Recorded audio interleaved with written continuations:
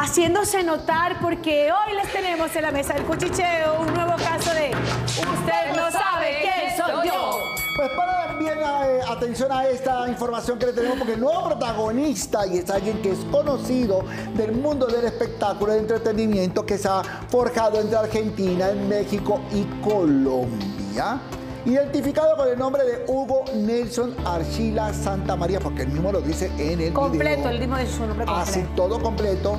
Aseguró ser periodista. Es verdad. Ser actor. También. Ser director de cine. También. Y hasta primo de la vicepresidenta del Congreso de la República. Ah, bueno, eso no lo sabemos porque no sabemos qué familia tenga, ¿cierto, Laurita? Uno nunca sabe. Pues la molestia de eh, Hugo se dio porque al parecer le habrían negado el ingreso a un centro de salud a pesar de que según él había llegado con un diagnóstico de preinfarto. Y se enoja buscando que le dé un infarto completo. Peor. Hombre, y en el que pide a los servidores de la policía de manera despectiva, como ustedes lo van a ver, su identificación. Veamos este momento. Mi nombre es Hugo Nelson Archila Santamaría, periodista, actor, director internacional. ¿Cómo es su nombre? Intendente Jairo Gutiérrez. Teniente Jairo Gutiérrez. Intendente. Intendente Jairo Gutiérrez. ¿Su nombre? Patrullera Luisa. ¿Patrullera? Luisa Luisa qué? Pavón. Luisa Pavón. El señor que le pedí el nombre mil veces no me lo dio. Se negó. lo di.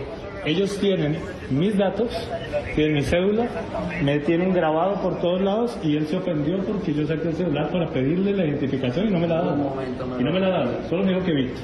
Listo, me sigo contando. Me fui a la clínica cooperativa.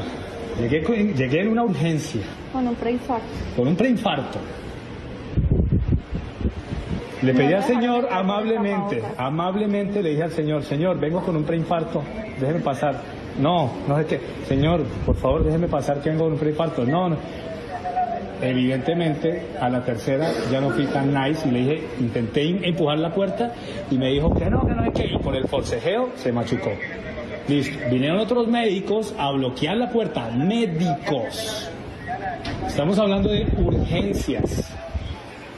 Estamos hablando de prestadores de servicios de salud. Y los mismos médicos bloqueando la puerta. Yo pateé esa puerta de la rabia que tenía. No me dejaron entrar. Les dije, les voy a hacer la denuncia y voy a hacer la denuncia global con todas las clínicas de Villavicencio. No saben con quién se metieron. Vengo directamente, tengo aval del Congreso de la República como periodista y tengo toda la gente poderosa que usted se le imagine, incluso allá en los altos mandos. En altos mandos, en el Congreso de la República, la vicepresidenta es prima mía, mejor dicho, lo que usted quiera.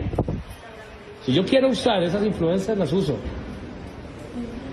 Me voy para la clínica cooperativa, a la misma situación. Señores, tengo un infarto y no te dejan pasar. No te dejan pasar los guardas de seguridad y tienen hasta una cadena. Entonces, como yo no me voy a poner a discutir, porque justamente por esta discusión me sigo poniendo en riesgo y no me importa porque primero están mis derechos. Bueno, mi gente, varias cosas para aclarar en esta situación. Iniciando que para diagnosticarse con un preinfarto se tendría que hacer un electrocardiograma que recordemos es una exploración básica en cardiología que permite detectar crecimientos en las cavidades del corazón y alteraciones del mismo. Otra de las cosas para aclarar es que una de las personas que en efecto está atravesando por un evento coronario no tendría la conciencia de llegar por sus propios medios y consciente al centro médico, tal como lo hizo el personaje. Así que la verdad se ve muy falso, se ve muy falso